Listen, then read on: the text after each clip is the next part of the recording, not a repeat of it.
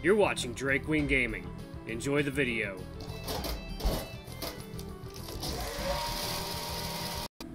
Hey guys, Nary here from Drakewing Gaming. As some of you know me on Twitter, The Gaming Dragon. Today I'm coming at you another Let's Play episode of The Echo. So, I've been getting really big into horror, uh, horror again. Um, I just, uh, I know this is a bit of a self plug. Um, I wrote a creepy pasta called What Stares Back, and it actually got turned into a creepy pasta that a very talented YouTuber narrated. So, I'm going to uh, link that in this video. If you guys like listen to that, please be sure to check it out. I'm sure you'll get a, I'm sure you'll enjoy it. Um, I, I enjoy writing Lovecraftian style horror. But anyway, guys, let's jump right back into Echo and. Uh, oh Lord, I uh, I don't want anyone to die. I don't want anyone to die. I am so freaked out. Please, let these people live. Lord, let these people live. Anyway, let's do it. I'm getting just a little annoyed that everyone is acting like I'm a little kid that needs to be watched. Cool. Be right back. Kudzu does a little jog away before disappearing around the corner.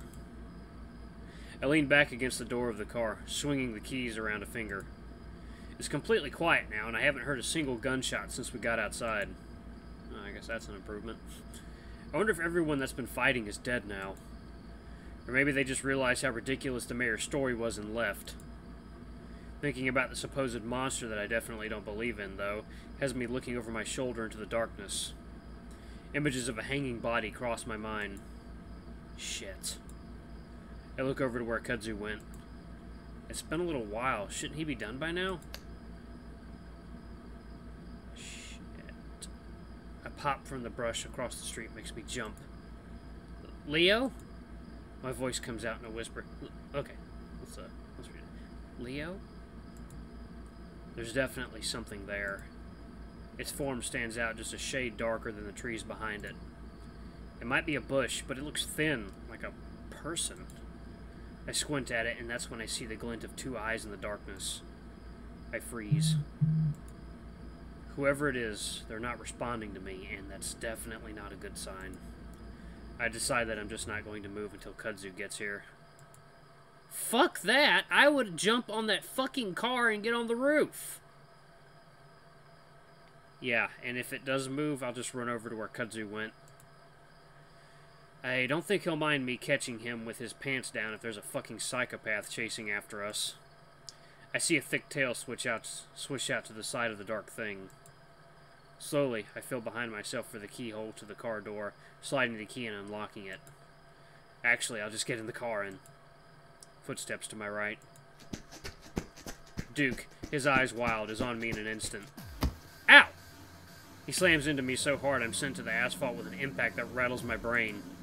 I roll over gargling and see Duke bent over, his hands fumbling to the ground. Somehow, he's moved his handcuffed hands from behind himself to the front. I realize that I don't have my keys anymore at the same time that Duke stands up, keys in hand.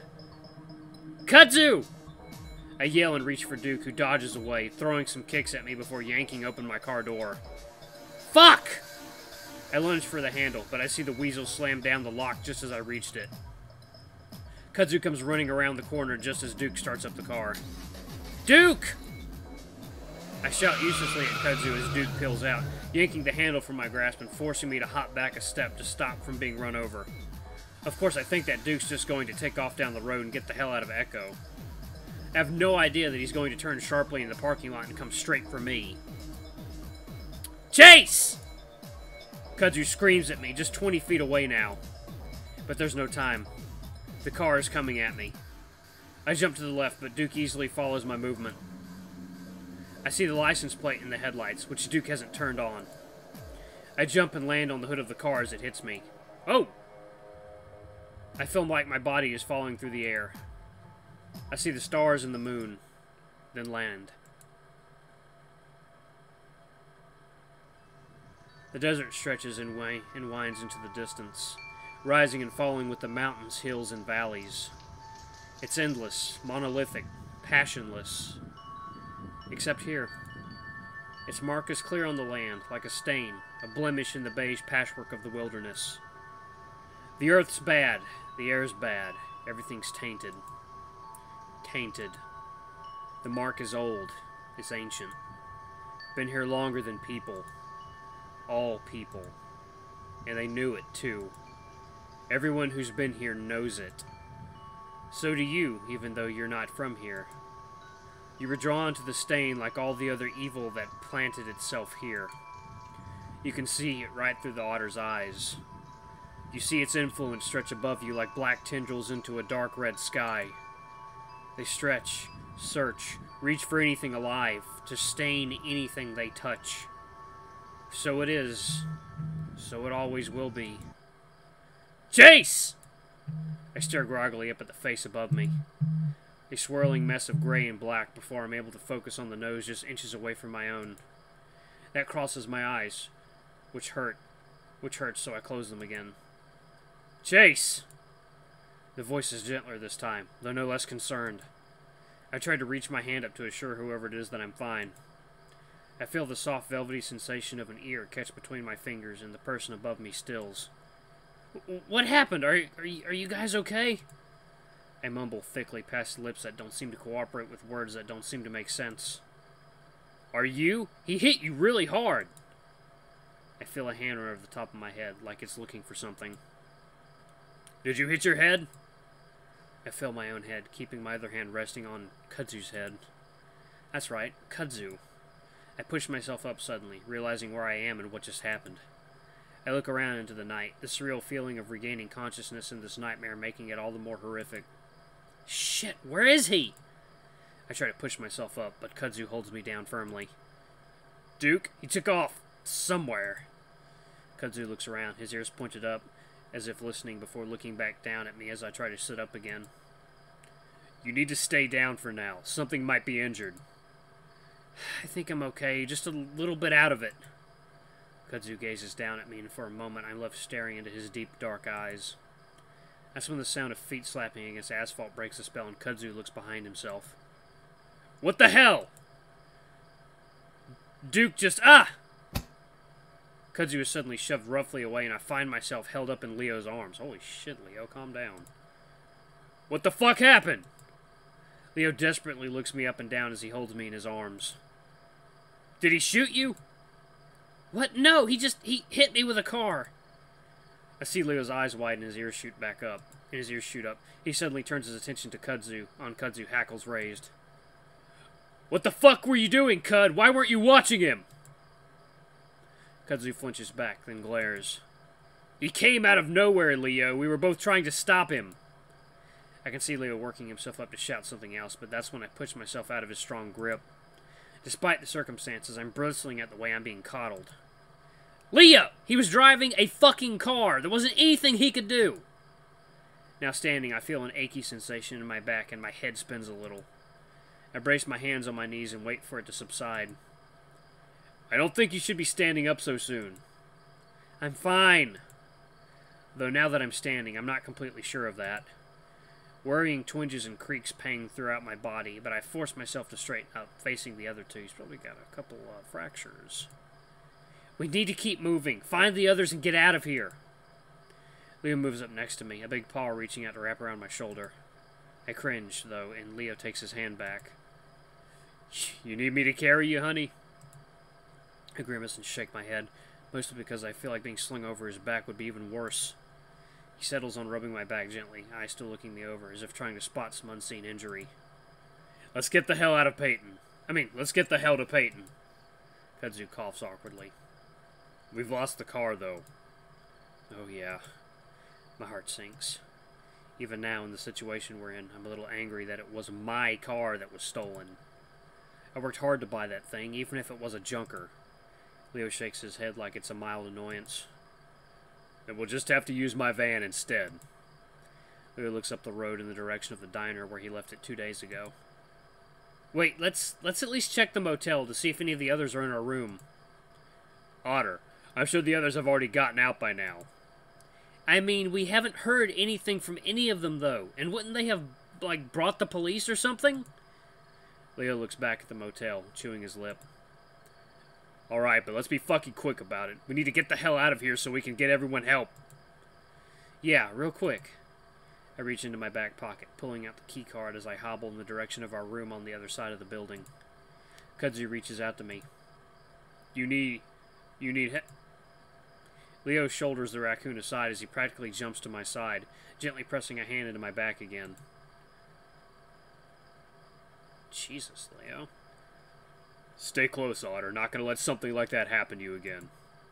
I try to ignore the tension I feel building between the other two. More than anything, I'm annoyed at Leo. Why is he acting like this?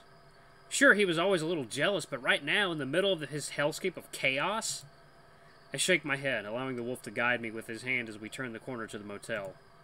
Kudzu stays close behind us, and I look back at him and give him a small smile to show that I at least appreciate his concern for me. He gives me a short nod back, but otherwise doesn't say anything. Like most of the town, the back of the motel is completely deserted as far as I can see. Another pop that's probably a gunshot echoes in the distance, but I'm just thankful they aren't happening every minute like earlier. Again, I wonder if it's because everyone's dead. As fucked up as it is, I think that might be a good thing for us. As long as it doesn't involve any of my friends. Oh yeah, I'm pretty sure at least some of them are dead. We reach the door of the motel and my heart sinks again as I see there's no light coming from the window. Shakily, I raise the keycard to press it against the lock, only to accidentally drop it. I start to bend over to pick it up, but Leo puts a hand on my shoulder, speaking gently into my ear. Don't move, Otter. He sweeps up the card and presses it to the lock. It flashes green, and I hear the electric buzz of the lock coming unlatched before Leo presses down on the door handle, then pauses. His other hand suddenly reaches out behind me toward Kudzu. Kudzu, hand me my gun. I'll give you dukes. Kudzu stares at the hand for a moment, then jumps, as if suddenly realizing what the wolf is talking about. Oh! Right. Kudzu lifts his shirt, fumbling with the waistband before pulling out the gun. He hands it to Leo, who in turn hands him Duke's gun. He checks the safety on his own before pointing it towards the door. Leo pauses again, then glances at me. Otter, behind me. Leo nods back to the wall next to the door. I only feel a little twinge of resentment at being treated like a child again, but I'm too eager to check the room to say anything. Finally, Leo gives the door a gentle shove, allowing it to swing open on its own. I can't see anything from behind Leo, but judging by the look on Kudzu's face next to me, they don't see anything. I realize why as Leo slowly reaches inside and flips the light switch. Oh. I can't resist and peek around Leo's bulk into the motel room. I don't know what I was expecting. Maybe a blood-splattered room with all of our friends' bodies piled up in the middle or something? Instead, though, it's basically just how I remember it. I even see my pajamas crumpled up on my side of the bed where I left them. Leo holds steady for a moment, keeping the gun pointed at the ceiling of the room. Finally, he leans in, whispering loudly. I said he whispered loudly, not yawned loudly. Mm. Hello? There's no response. Leo waits just a while longer before finally moving forward slowly. I don't wait for Leo's approval to follow and move closely behind him, Kudzu just behind me. There isn't much to search in the motel room, having just the room and the bathroom to check. Once Leo is sure it's clear, I shut the door and lock it and lock it before turning to the other two. Just so we know that we're safe, for now at least. Leo shakes his head. We gotta keep moving, Chase. We should head back to my place now. I open Jenna's laptop on the table, pushing the power button. Come on, what are you doing? Leo shifts his weight from one foot to the other. Kudzu moves to stand next to me. Checking the internet? I was hoping to. I sigh as I stare at the password screen. Well, let me check with my phone. Leo sighs again. That's not going to help us. I have Wi-Fi calling. Leo sighs again and sits and sits heavily on the bed, bending it in, bending it in like a bow. He sets his gun on the bedside table before rubbing his face vigorously with both hands. You okay? Saying that Leo's been on edge is an understatement. And sure, we're all fucked up right now, but the way the wolf's been acting, it's like he's a different person.